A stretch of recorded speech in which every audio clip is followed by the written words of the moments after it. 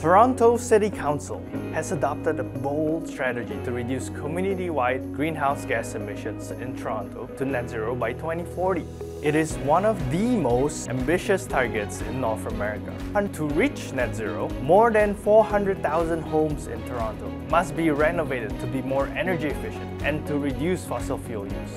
The city is committed to providing support to help homeowners get to net zero.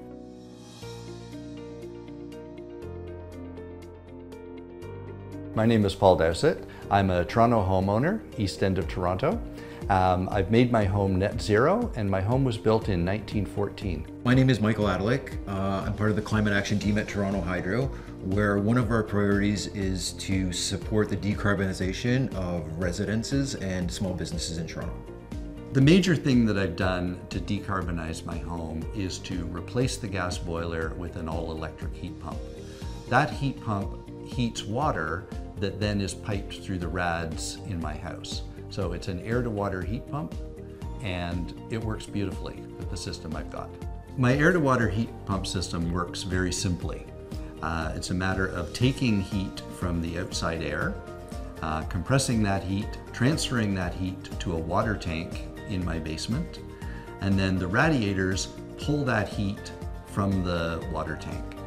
They pull that heat at 40 degrees Celsius and that heat goes to the original cast iron radiators, the modern thin-walled radiators, and to the radiant floor heating. My air-to-water heat pump system works really well with my rads.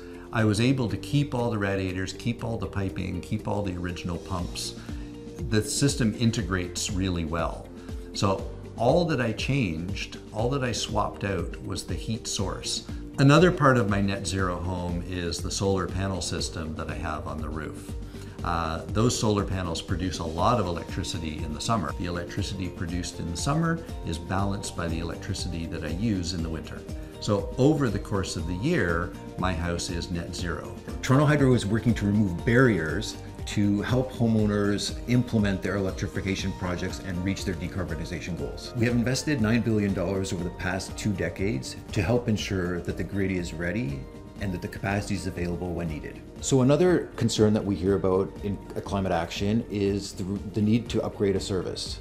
And in most cases, homes that have fully electrified don't see an increase in load that would require a service upgrade. Paul, for example, has a 100 amp panel and has fully electrified his home. And even doing his load test has not seen um, an amperage draw that would require him to upgrade his service. There's a few benefits to this uh, air-to-water heat pump system, and really they'd probably be true of any heat pump system, whether it's air-to-water or air-to-air. Uh, the first one is comfort.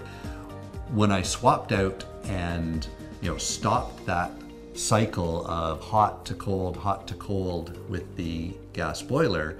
Now with the air source heat pump, the temperature just stays even. It's comfortable like I never imagined comfortable could be.